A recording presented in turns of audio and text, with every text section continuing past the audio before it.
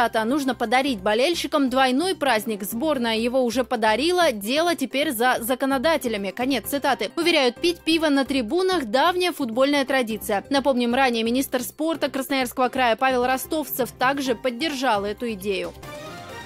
Губернатор Иркутской области Сергей Левченко поднял себе зарплату. Повышение он объяснил тем, что оклад чиновников напрямую зависит от его дохода. Поднять зарплаты долгое время не позволяла нестабильная финансовая обстановка в регионе. После вступления в должность в сентябре новый губернатор якобы даже понижал себе оклад аж на 10%. Теперь же всю прибавку он обещает тратить на благотворительность. Белые розы попали в рейтинг самых омерзительных фотографий. Список составил популярный блогер Илья Варламов. Всего в рейтинге 14 снимков. Среди них вытяжка в китайском кафе, свалка в Чите и многое другое. В нашем микрорайоне блогеру не понравилась плотная застройка и необорудованная парковка. Настоящий городской ад, пишет Варламов.